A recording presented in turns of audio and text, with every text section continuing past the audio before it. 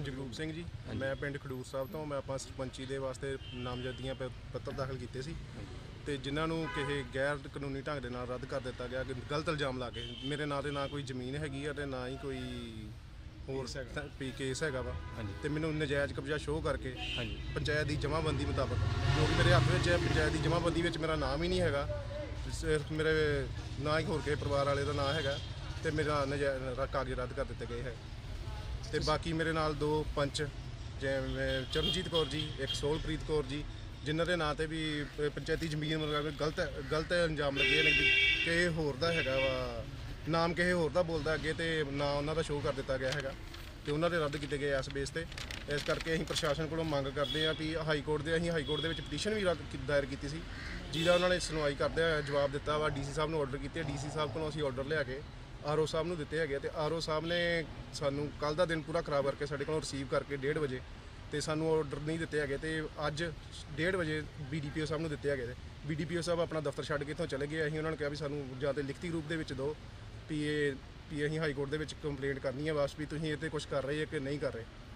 ਤੇ ਇਹਦੇ ਵਾਸਤੇ ਅਸੀਂ ਪ੍ਰਸ਼ਾਸਨ ਕੋਲੋਂ ਮੰਗ ਕਰਦੇ ਵੀ ਸਾਡੇ ਜੋ ਵੀ ਪੇਪਰ ਰੱਦ ਕੀਤੇ ਗਏ ਆ ਜਾਂ ਨਜਾਇਜ਼ ਕੀਤੇ ਗਏ ਆ, ਉਹਨਾਂ ਨੂੰ ਸਹੀ ਕਰਕੇ ਤੇ ਸਾਨੂੰ ਚੋਣ ਨਿਸ਼ਾਨ ਅਲਾਟ ਕੀਤਾ ਜਾਵੇ।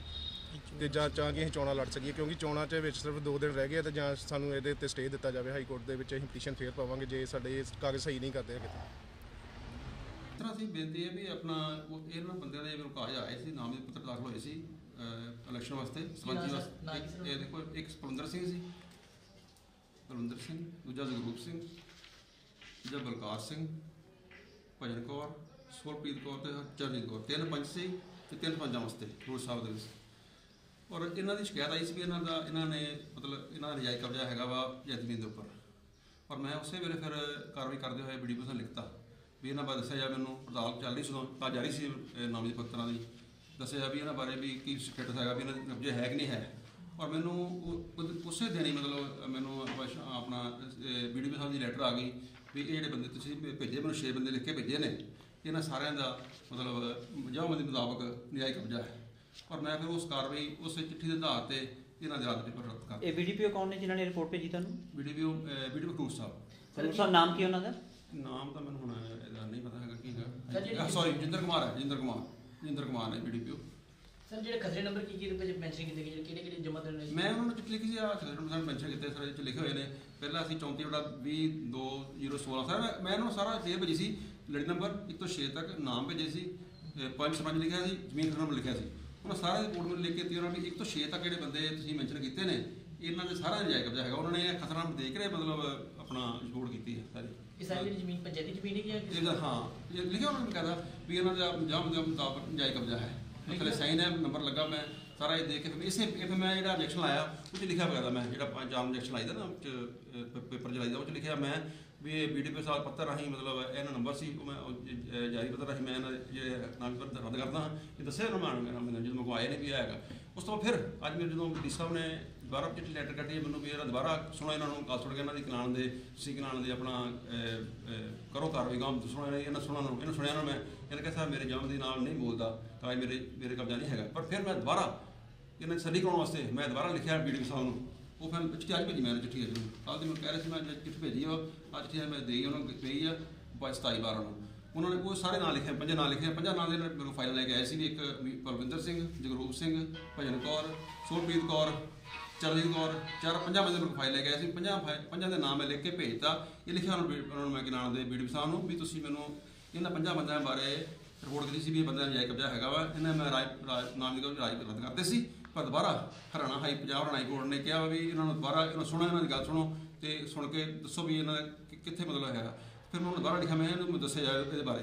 ਉਹਨਾਂ ਨੂੰ ਰਿਪੋਰਟ ਆ ਗਈ ਉਹਨਾਂ ਨੇ ਕਿਹਾ ਜੋ ਪਹਿਲਾਂ ਮੈਂ ਰਿਪੋਰਟ ਭੇਜੀ ਆ ਉਹੀ ਉਹੀ ਰਿਪੋਰਟ ਠੀਕ ਬਣੀ ਉਹ ਸਹੀ ਹੈ। ਉਹ ਸਹੀ ਹੈ ਉਹ ਰਿਪੋਰਟ ਨਹੀਂ ਜਾਵੇ ਲੇਕਿਨ ਇਹ ਜਿਹੜੀਆਂ ਚੀਜ਼ਾਂ ਵਾ ਇਹਨਾਂ ਦੇ ਉੱਤੇ ਉਹਨਾਂ ਦਾ ਬਿਲਕੁਲ ਕਿਤੇ ਵੀ ਨਾਂ ਨਹੀਂ ਹੈਗਾ ਤੇ ਇਹਨਾਂ ਦਾ ਕੀ ਕਹਿੰਦਾ ਚਲੋ ਠੀਕ ਆ। ਜਮਾ ਇਹਦੇ ਬਾਰੇ ਇਹ ਦੇਖੋ ਇਹਦੇ ਬਾਰੇ ਵੀਡੀਓ ਸਾਫ਼ ਸਰ ਮੈਂ ਤਾਂ ਉਹਨਾਂ ਦੀ ਰਿਪੋਰਟ ਤੇ ਬੋਲਦਾ ਵੈਰੀਫਾਈ ਵੀ ਨਹੀਂ ਕੀਤਾ ਵੈਰੀਫਾਈ ਕਰਨ ਤੋਂ ਬਗੈਰ ਨਹੀਂ ਨਹੀਂ ਨਹੀਂ ਉਹਨਾਂ ਵੈਰੀਫਾਈ ਕਰਕੇ ਭੇਜੋ ਕਿ ਦੇ ਰਿਸਪੌਂਸਿਬਲ ਵੀਡੀਓ ਜਿਹੜਾ ਉਹ ਰਿਸਪੌਂਸਿਬਲ ਹੈਗਾ ਵਾ ਇਹਨਾਂ ਕਾਗਜ਼ਾਂ ਦਾ ਜੇ ਉਹ ਤੁਹਾਨੂੰ ਰਿਪੋਰਟ ਦੇ ਰਿਹਾ ਨਾ ਹੀ responsible he is fully authorised to any give any state about ਦਾ ਜਮਨ ਦੀ ਕਿਉਂਕਿ ਜਮਨ ਦੀ ਬਾਰੇ ਜਾਂ ਪਿੰਡ ਬਾਰੇ ਉਹ ਇੰਚਾਰਜ ਆ ਉਹ ਬਲਾਕ ਦਾ ਬਲਾਕ ਅਫਸਰ ਹੈ ਠੀਕ ਹੈ ਹਰ ਲੈਵਲ ਤੇ। ਉਹਨੂੰ ਪਤਾ ਵੀ ਕਿਹੜੇ ਇਹ ਆਈ ਡੋਨਟ ਨੋ ਵੀ ਉਹ ਕਿਸ ਤਰ੍ਹਾਂ ਉਹਨੇ ਕਿਸ ਤਰ੍ਹਾਂ ਇਹ ਉਹ ਥਲੇ ਕਿਥੋਂ ਰਿਪੋਰਟ ਆਪਣਾ ਮੈਂ ਕੋਲ ਰਿਪੋਰਟ ਲਈ ਹੋ ਪਟਾਰੀ ਕੋ ਰਿਪੋਰਟ ਲੈ ਕੇ ਸਾਰਾ ਉਹਨੇ ਭੇਜੀ ਰਿਪੋਰਟਾਂ ਨੂੰ। ਪਰ ਅਸੀਂ ਅਸੀਂ ਇਸ- ਅਸੀਂ ਰਿਪੋਰਟ ਡਰਾਈ ਨਹੀਂ ਕਰ ਸਕਦੇ।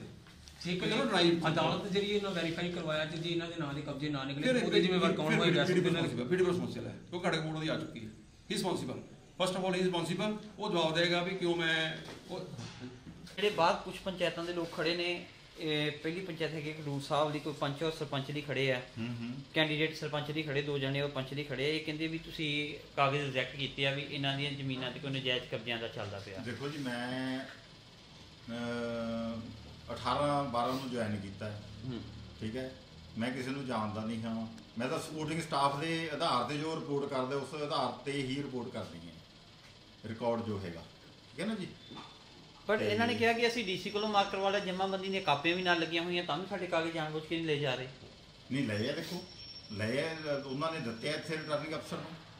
ਜਗਰੂਪ ਸਿੰਘ ਆ ਪਲਵਿੰਦਰ ਸਿੰਘ ਇਹ ਕਹਿੰਦੇ ਵੀ ਸਾਡੇ ਲੱਗੇ ਹੋਏ ਆ ਸਭ। ਹੋਇਆ ਵਾ ਜੀ ਸਭ ਹੋਇਆ ਵਾ ਸਾਰਿਆਂ ਦੇ ਕਾਗਜ਼। ਜਮ੍ਹਾਂ ਕਰਾ ਲਏ ਤੁਸੀਂ ਹਾਂ ਨਹੀਂ ਨਹੀਂ ਮੈਂ ਨਹੀਂ ਜਮ੍ਹਾਂ ਕਰਾਉਣੇ ਸੀ। ਰਿਕਾਰਡ ਕਾਗਜ਼ ਜਮ੍ਹਾਂ ਹੋਣੇ ਆ ਰਿਟਰਨਿੰਗ ਅਫਸਰ ਕੋਲ ਜੋ ਵੀ ਹੋਣਾ। ਜੀ ਠੀਕ ਹੈ ਜੀ ਤੁਹਾਡੇ ਖਿਆਲ ਨਾਲ ਬਿਲਕੁਲ ਸਹੀ ਹੈ ਹੁਣ ਜਿਹੜੇ ਇਹਨਾਂ ਦੇ ਡਾਕੂਮੈਂਟ ਹੈ ਉਹਨਾਂ 'ਚ ਕੋਈ ਪ੍ਰੋਬਲਮ ਤਾਂ ਨਹੀਂ ਹੈ ਨਹੀਂ ਇਹ ਮੈਨੂੰ ਨਹੀਂ ਪਤਾ ਇਹ ਰਿਟਰਨਿੰਗ ਅਫਸਰ ਨੇ ਫੈਸਲਾ ਕਰਨਾ ਹੈ ਹਾਈ ਕੋਰਟ ਨੇ ਜੋ ਕਿਹਾ ਉਹਨਾਂ ਨੇ ਹਾਈ ਕੋਰਟ ਨੇ ਇਹੀ ਕਿਹਾ ਵੀ ਜਿਹੜਾ ਹੈ ਰਿਟਰਨਿੰਗ ਅਫਸਰ ਨੇ ਪਹਿਲਾਂ ਜਿਹੜੀ ਫਾਈਲ ਦਿੱਤੀ ਹੋਈ ਹੈ ਉਸ ਦੇ ਆਧਾਰ ਤੇ ਹੀ ਫੈਸਲਾ ਕਰਨਾ ਉਸ 'ਚ ਨਾ ਕੋਈ ਘਟਨਾ ਹੈ ਨਾ ਕੋਈ ਕਾਗਜ਼ ਕੱਢਣਾ ਹੈ ਤੇ ਨਾ ਕਾਗਜ਼ ਲਾਉਣਾ ਹੈਗਾ। ਹਾਂ। ਇੱਕ ਹਾਂਜੀ ਇੱਕ ਸਰਲੀ ਖੁਰ ਦੇ ਬੰਦੇ ਖੜੇ ਨੇ ਜੀ ਉਹ ਕਹਿੰਦੇ ਵੀ ਅਸੀਂ ਕਾਗਜ਼ ਜਮ੍ਹਾਂ ਕਰਵਾਏ ਆ ਉਹ ਤੇ ਲਿਖੇ ਜਿਹੜੇ ਪਹਿਲੇ ਵੀਡੀਓ ਉਹਨਾਂ ਦੇ ਸਿਗਨੇਚਰ ਆ ਪਰ ਜਿਹੜੇ ਹੁਣ ਵੀਡੀਓ ਉਹਨਾਂ ਨੇ ਕਹਿਤਾ ਵੀ ਉਹਨਾਂ ਦੇ ਸਿਗਨੇਚਰ ਨਹੀਂ ਤਾਂ ਕਰਕੇ ਸਾਡੇ ਰਿਜੈਕਟ ਕਰ ਦਿੱਤੇ। ਦੇਖੋ ਮੈਂ ਇਸ ਤਰ੍ਹਾਂ certificate ਉਸ ਪਹਿਲੇ ਰਿਗਾਰਡਿੰਗ। ਮੈਂ ਦੱਸਦਾ ਲੋਕ ਆਏ ਮੇਰੇ ਕੋਲੇ ਇਤਰਾਜ਼ ਲੈ ਕੇ ਰਿਟਰਨਿੰਗ ਅਫਸਰ ਦਾ ਲੱਗਿਆ। ਹੂੰ। ਉਦੋਂ ਬਾਅਦ ਮੈਂ ਲਾਲ ਸਿੰਘ ਤੋਂ ਲਿਖਤੀ ਸਟੇਟਮੈਂਟ ਲਈ। ਉਹ ਕਹਿੰਦਾ ਵੀ ਮੇਰੇ ਆਹ ਸਾਈਨ ਹੈ ਜਿਹੜੇ ਇਹ ਸਾਈਨ ਹੈ ਮੇਰੇ ਉਹ ਸਹੀ ਹੈ ਬਾਕੀ ਇਹ ਜਿਹੜੇ ਜਾਲੀ ਹੈ। ਮੈਂ ਉਸ ਆਧਾਰ ਤੇ ਹੀ ਰਿਪੋਰਟ ਕੀਤੀ ਉਹ ਮੇਰੇ ਕੋਲ ਹੁਣ ਵੀ ਹੈਗਾ ਕਾਗਜ਼ ਪੇਪਰ। ਠੀਕ ਹੈ ਮਤਲਬ ਕਿ ਜੇ ਇਹ ਇਹਨਾਂ ਦੀ ਜਲਦੀ ਪਾਈ ਜਾਂਦੇ ਪ੍ਰਸ਼ਾਸਨ ਉਹਨਾਂ ਤੇ ਕਾਰਵਾਈ ਹੋਊਗੀ? ਆ ਜਿਹੜੇ ਪੰਚ ਸਰਪੰਚਾਂ ਨੇ ਨਕਲੀ ਸਰਟੀਫਿਕੇਟ ਲਗਾਏ ਹੋਏ ਨੇ ਤੁਹਾਡੇ ਸਾਹਮਣੇ ਨਕਲੀ ਲਗਾਏ ਇਸ ਬਾਰੇ ਜੀ ਰਿਟਰਨਿੰਗ ਅਫਸਰ ਨੇ ਫੈਸਲਾ ਲੈਣਾ। ਇਸ ਚ ਵੀਡੀਓ ਨੇ ਕੁਝ ਨਹੀਂ ਕਰਨਾ। ਮੈਂ ਤਾਂ ਦੇਖੋ ਵੀਡੀਓ ਦੀ ਲਾਲ ਸਿੰਘ ਦੀ ਰਿਪੋਰਟ ਲੈ ਲਈ ਜਿਹੜੇ ਪਹਿਲਾਂ ਸੀ ਮੇਰੇ ਤੋਂ ਜਿਨ੍ਹਾਂ ਨੇ ਇਸ਼ੂ ਕੀਤੇ ਹੋਏ ਸੀਗੇ। ਜਿਹੜੇ ਹਾਈ ਕੋਰਟ ਤੋਂ ਉਹ ਆਪਣੇ ਇੱਕ ਲੈਟਰ ਲੈ ਕੇ ਆਏ ਜਿਹਦੇ ਵਿੱਚ ਉਹਨਾਂ ਨੇ ਮਾਨਯੋਗ ਹਾਈ ਕੋਰਟ ਜੀ ਨੇ ਲਿਖਿਆ ਕਿ ਇਹਨਾਂ ਦੇ ਜਿਹੜੇ ਡਾਕੂਮੈਂਟ ਬਿਲਕੁਲ ਕਲੀਅਰ ਸਹੀ ਆ ਤੇ ਇਹਨਾਂ ਨੂੰ ਬਿਲਕੁਲ ਜਿਹੜੇ ਚੁਣਾਵ ਨਿਸ਼ਾਨ ਦਿੱਤੇ ਜਾਣ ਉਹਦੇ ਬਾਰੇ ਕੀ ਕਰ ਰਹੇ ਹੋ?